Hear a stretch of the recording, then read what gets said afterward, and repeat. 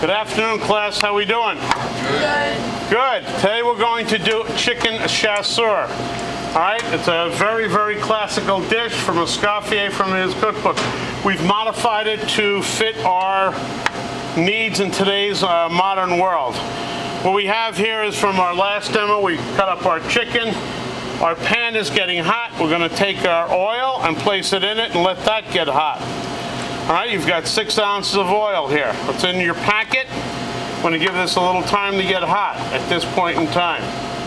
Now, the reason why I need to get this oil hot is this chicken just came from the refrigerator. The refrigerator is what temperature, people? 38. Come on, guys, sing it out. What do we got? 34, 36? Good.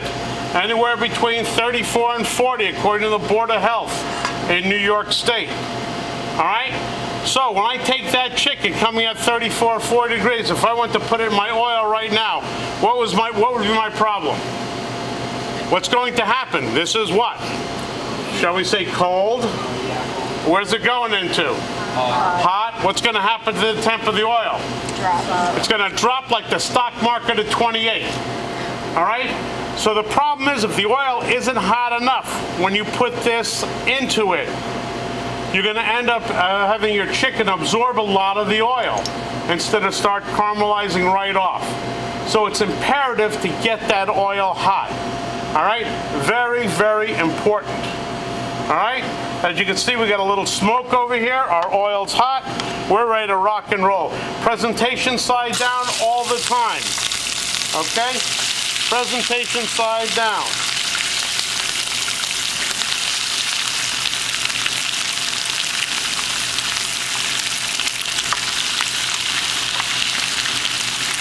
Back up. It's like SeaWorld, the front row gets splashed.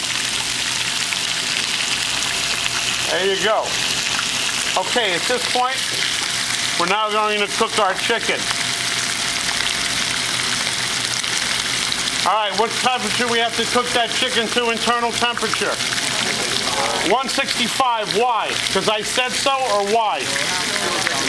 Kills salmonella, absolutely. That's exactly why we're doing it. Not because I said it, because it kills salmonella.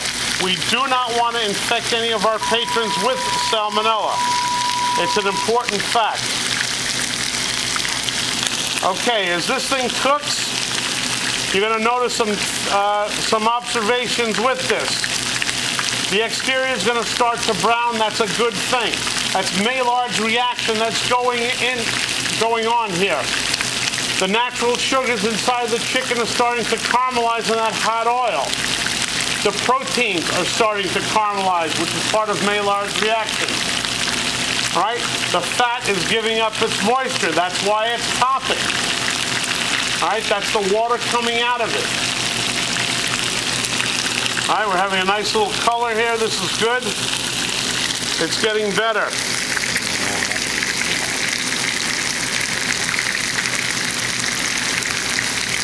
I'm going to take a little peek.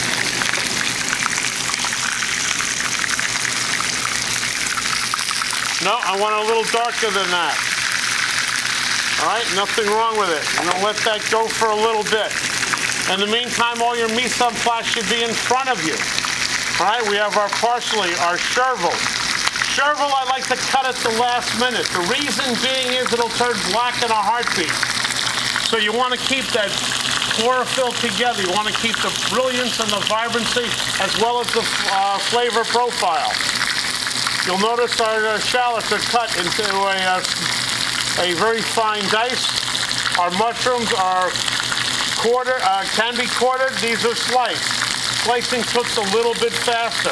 If I were going to do this for a large party, which means, let's say we're going to prepare this dish for 25, 30, or in cheap in uh, steam table pans, I would probably quarter the mushrooms.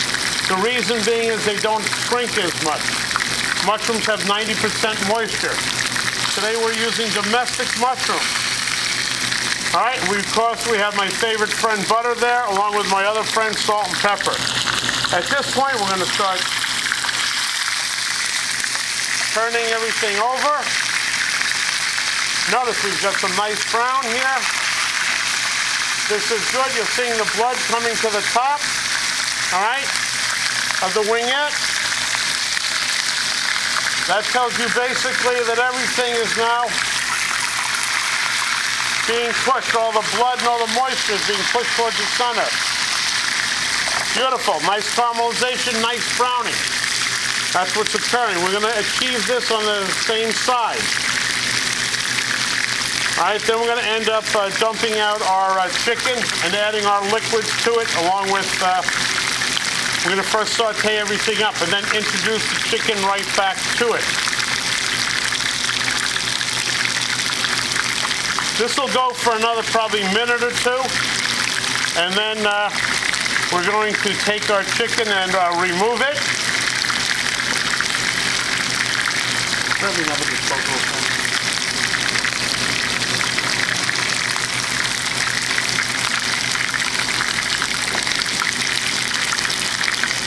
Okay, the second side cooks a little bit quicker than the first side. The reason being is it's coming up to temperature. All right, it went in there cold and it got hot quicker. Okay?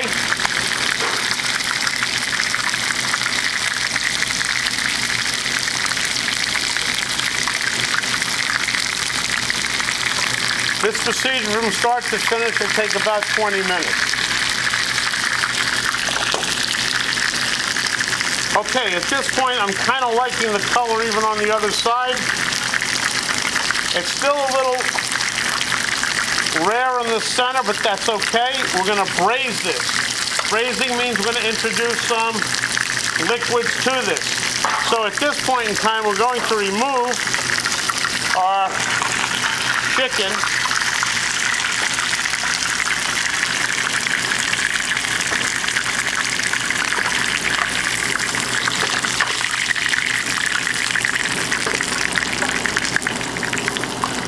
Okay? And we've got to get rid of our oil. We have a disposable pan here for that. You're going to leave about two tablespoons of oil in there.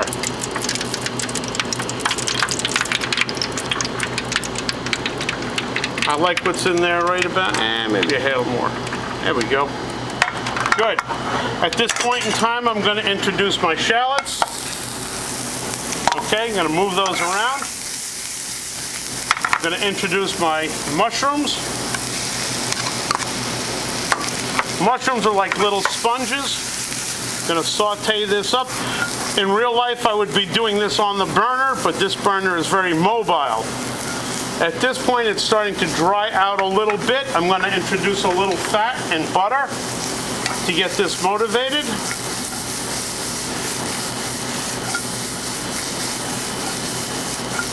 As you can see, the fat's being absorbed into the mushroom. Mushrooms are like little sponges.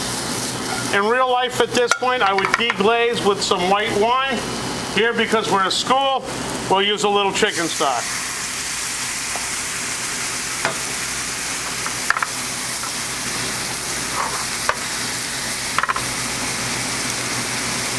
All right, and I'm going to add a little bit of brown stock to this, a little demi-glaze. Move this around. Now I'm going to introduce my chicken back into this.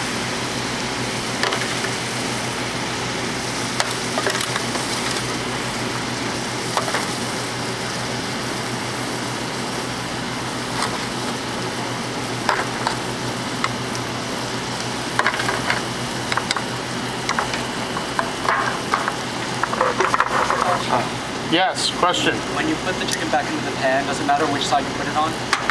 No, because halfway through you're going to flip it over. So it really doesn't matter. You're going to cook it halfway and then you're going to flip it halfway again. Now again, we're going to let this, now braising is a two-step process. One, dry heat. Although we used oil, it's considered a dry heat method. All right, dry heat with oil. Now we've just introduced liquids to this. So we're technically, we're braising it. Usually braises are done in the oven, but braising can also take uh, part on top of the stove, which is not a problem.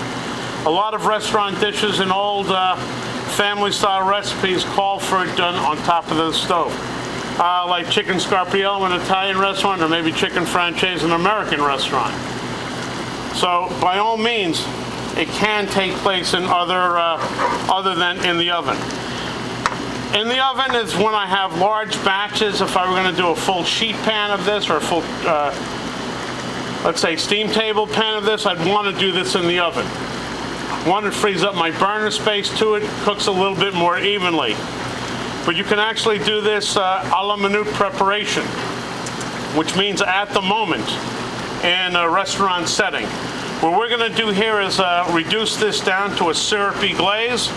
Uh, we're going to plate this up and uh, we're going to call it a day. We'll add a little bit of butter and some uh, herbs uh, towards the end of this. All right, as you can see, it's working halfway through. At this point, I'm going to take this and kind of flip this over so the other side gets introduced to the sauce. Yes. is your skin still going to be crispy at the end? It's not going to be crispy, crispy as we know it, but it's going to have a great flavor and taste for it. And it being a braised item, if you want to have it crispier, you can actually finish this in the oven and then pour the sauce on top. Uh, you will get a crispier skin, but the downside of it is not going to be as flavorful.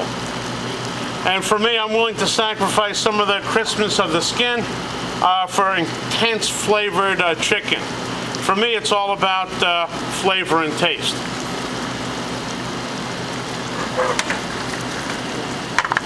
Uh, we did salt and pepper that uh, chicken prior to it going in, but at this point I'm going to add a little bit more salt and pepper because I do not, I use natural stocks as you guys know here. We don't use anything out of a can. If I were using canned stocks, then at that point in time I'll probably uh, negate some of my salt.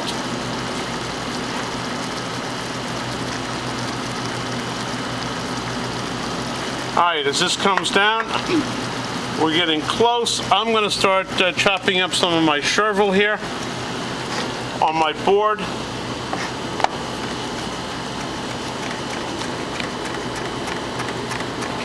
Chervil's got a great like licorice flavor to it. If you can't get it, you can use tarragon. Tarragon has that same licorice flavor, except it's more pronounced. Chervil's a lot more delicate. Right, very light in flavor. It changes the profile of it, which I happen to like. All right, we're gonna move this around a little bit.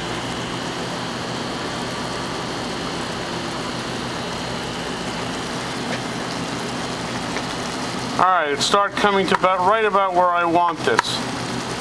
At this point, I'm, I'm gonna add a little bit of butter, add a little extra shine to this.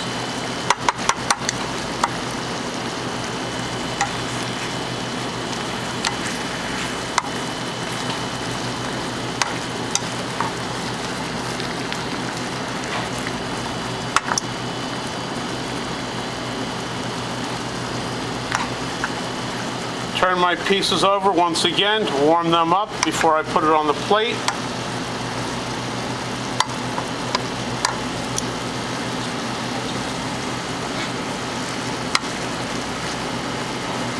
As you can see, the sauce is coming down. It's uh, getting a lot tighter, a lot more shine to it. All right, and with that shine, you're also having, uh, for that reduction, you're getting intense flavors to it, which is a beautiful thing. Right, it's all about getting those flavors. All right, at this point in time, we're gonna shut off our burner. We're gonna plate, keep our pieces towards the middle. So you have some negative space.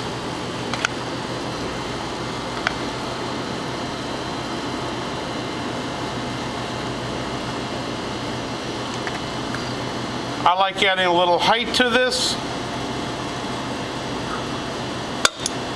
At this point, we're going to add a little bit of chervil and a little bit of parsley in with uh, our sauce. Mix it around and spoon our sauce on the top.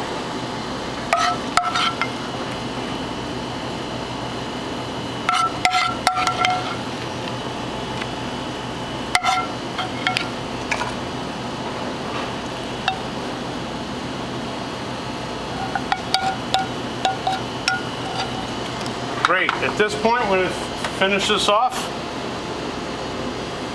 with a little bit more. Try to keep our edges cleaner for the patron. Very good. There you have chicken chasseur. Thank you very much.